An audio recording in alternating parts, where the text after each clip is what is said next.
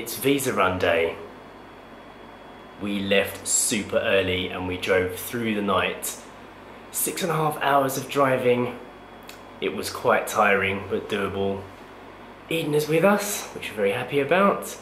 And now we are all the way down in Ranong ready to do our border crossing. So we're going to have a little bit of food and then head off to the border. Passports are at the ready. Eden, you're going to stay here with the air conditioning on, okay? Hey, your road trip's over. You can take off your RTB now. Eden is still rocking her original RTB because the ones that we were having delivered in the post came just a bit too late and we missed the postman yesterday. So a little bit annoying. It would have been nice to put Eden in her new bandana for this trip, but there'll be other road trips, never mind. I'm quite glad that we brought our own breakfast with us because it looks like they don't have any food here at all, does it, in the hotel? It's very basic. It's quite difficult to find because there's no sign for it Yeah. on the road. So There's no English or Thai sign it, there's nothing at all. We've never stayed in this hotel before. It's called Nartavi Resort. It's very basic, there's no view from the window at all, but it was quite cheap. It was about 600 baht per night. The resorts that we stay in normally is no longer on Agoda or Booking.com, so I don't know if they've stopped their services on there or if they're not no longer pet friendly. I don't know what it is, but that is why we're in this place. Obviously, it's pet friendly, and Eden the dog is permitted to stay. It doesn't appear that any of the staff that we've met so far speak any English, but we've managed to check in, no problem anyway. And this is what the room looks like. So it's a 20 square meter concrete room with a huge S on the wall for Sacha, I think. What else could it be? And you can see the windows are frosted over, probably because there's nothing to see out there. Basic TV that we never watch, little corridor, and the bathroom is in here. There was one or two mosquitoes when we first opened the door, but it's not too bad. They don't give you much in the way of soap. It's kind of a very watered down, cheap body wash. But it's okay, we brought a load of stuff of our own. Okay, we're gonna eat our breakfast now. We've decided to stay a little bit of time in the room so Eden can get used to being in here. We don't like to leave straight away. And then we're gonna head off and get this visa run done because it's playing on our minds and we're a bit worried about it. The visa run is something that pretty much every expat under retirement age has to do when we first had to do one, it was very exciting for us because the idea of going over to Burma, a country where my mum was from, was a completely new experience for us.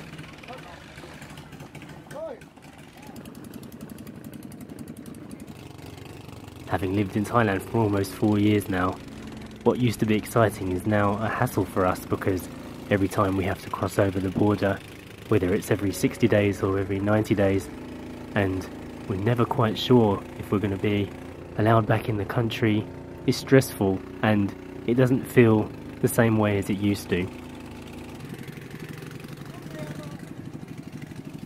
There was a time when we would look at the wooden huts by the water and we'd look at the way of life on the other side of the border and be really moved by the things that we were seeing. But now a visa run is like a formality to us. But all said and done, when we went over and came back, it turned out to be quite a painless experience in the end. And now we're back in the car and we need to fuel ourselves with food. so we've driven into town and we've come to Ranong Hideaway restaurant, which we like. So we'll take you in Been there. here before. Yes, we have.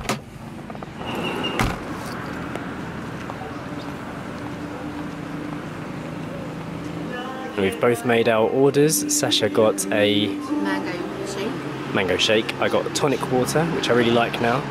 We're the only people in here today. Completely empty restaurant today, just me and Sash. If anybody's curious as to why Sacha changed her clothes before we did our visa run, it's because we like to be respectful when we go over there to cause as little problems as possible. Yes, it's true. I've always put on my trousers and a, a covered t-shirt to do visa run, especially down here, crossing over into Kawthaung, into a different country, and just I feel better being more covered up than going over there in a vest and shorts. Also, you're climbing in and out of boats and jumping up walls and stuff sometimes, so it does. It's just better to be a bit more covered up. A few years ago now, we spent a couple of days in Kawthaung when we done a Burma boating trip. While we were there, we did notice that a lot of the Westerners that were coming over to do their visa run, they were getting looked at quite a lot by the guys that was hanging around the boats. They were getting blown kisses at and catcalled and quite a lot of them were dressed inappropriately in shorts and you know string vests, bit of cleavage so that's why I prefer to cover up because I just want to draw as little amount of attention to myself as possible when doing things like this and while we were there watching this happening to other western girls I felt a little bit uncomfortable with it. it wasn't until we were in a cafe and they had the TV on and there was a Burmese film on which didn't even show a couple kiss. There was no touching, it was very, very reserved and there was no skin on show or anything like that. And then that film finished and then a Cameron Diaz film came on. There was Cameron Diaz running around in her bikini at a foam party and there was quite a lot of flesh on show.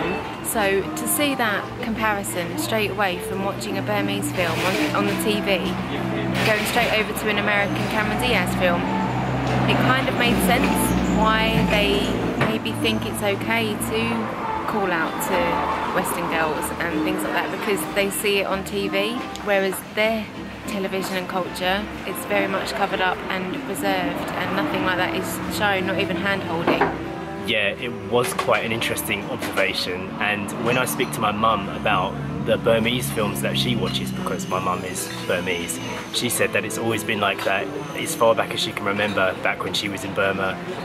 The people are much more reserved in their culture, so to um, expose yourself to the Hollywood's idea of a free world maybe making a little bit of an influence on some of the behaviour of some of the people out there. But yeah, it was an interesting observation. And then this happened. I got a chicken steak and I got the roll. And Sacha has gone Thai food today and got a yellow curry with potatoes and chicken. It's a big portion, isn't it? Mm, looks nice. and lunch is done. Everything came to 355 baht. Very good, very tasty. We are heading back to the hotel now to get some rest. Hello, we're back. Come on, let's go for a walkie. Yeah, yeah, it's a nice spin. Whee!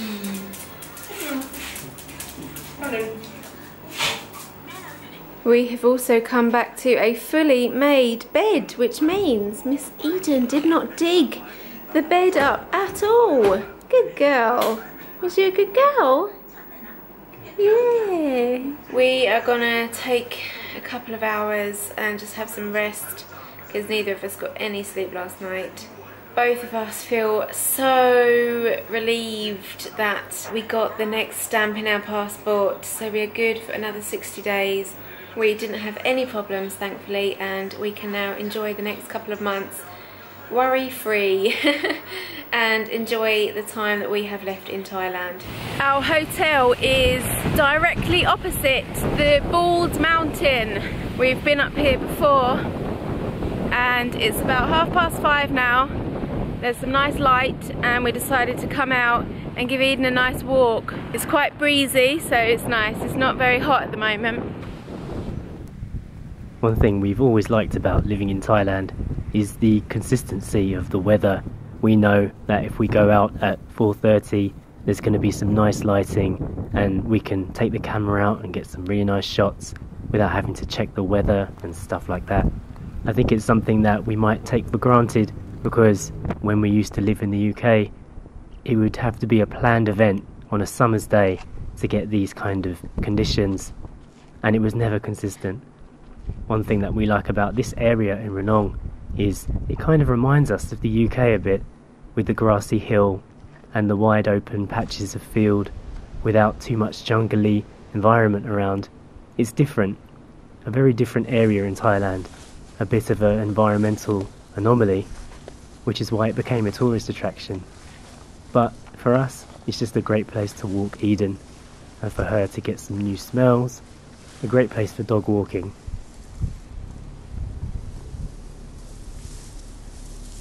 Now that our time in Thailand is coming to an end, I'm trying to take in as many of these moments as possible and really remember where we are.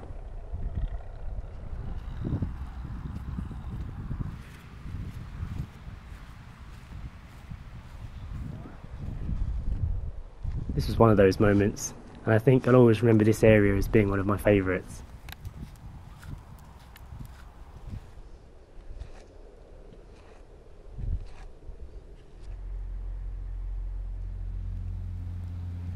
And I think maybe Eden feels the same way too.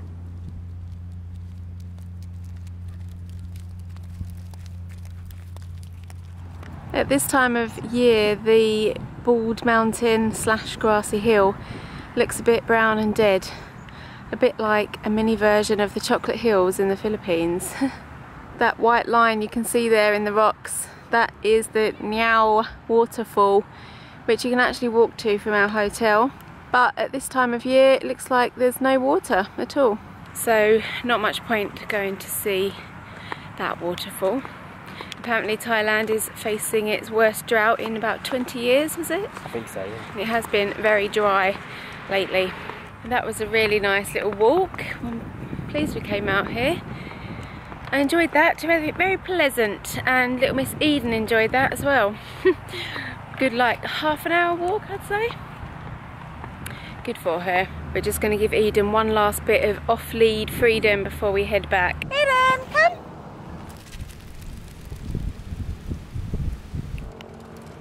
We are heading back to the hotel now and then going to go out and get some dinner. We are back in the room after our little walk. We've just given Eden her dinner and Jay and I are going to go out. We found a little Italian restaurant when we were here last time. It was actually quite nice.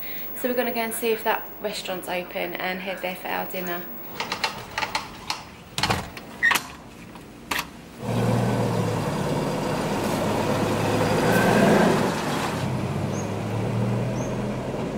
Unfortunately, the restaurant we were aiming to go to is closed, so we are got our thinking hats on of where to go now. Right, we've chosen to go to a restaurant called Dee Dee's Restaurant. We've been here before. I feel absolutely knackered though. We did sleep for about an hour and a half earlier, but it's not even seven o'clock yet, and I just feel like I could curl up and go to sleep right now. My arms are heavy. Yeah, we've got the heavy limbs.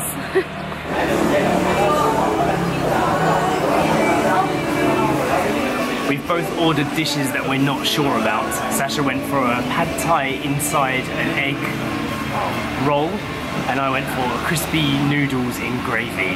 So if they're not good, we've both decided that we're just gonna order some pancakes instead. Two drinks that have recently popped up onto my radar that I now like are tonic water and root beer. These are my drinks of choice if I see them on a menu I don't fancy just water. Sacha's staying healthy and just drinking vitamin water today. and so this is the pad thai in egg roll. It's basically pad thai but inside like an omelette wrap, isn't it? Actually looks quite nice. Good choice. And this is what my dish looks like. Interesting. I've never seen that before. Enjoy. Alright, we are suitably satisfied. Got the two dishes and we also got two pancakes for dessert and a drink, only one drink. And the whole thing came to 290 baht in total.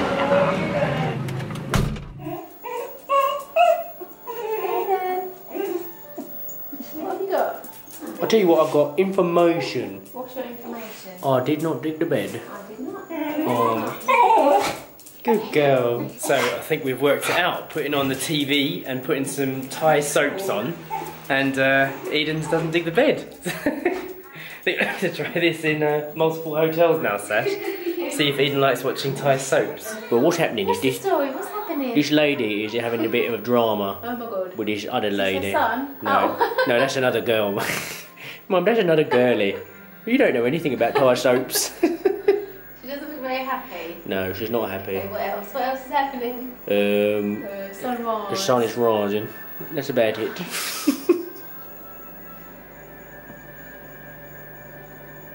and so I think that concludes the day. We started today not knowing if we'd be allowed back in the country, and now we are back and I'm pleased that everything's sorted and Eden's eating her fish and everything's working out just right. So tomorrow we are heading off on a little holiday. We are we're going to go to Koh Phangan.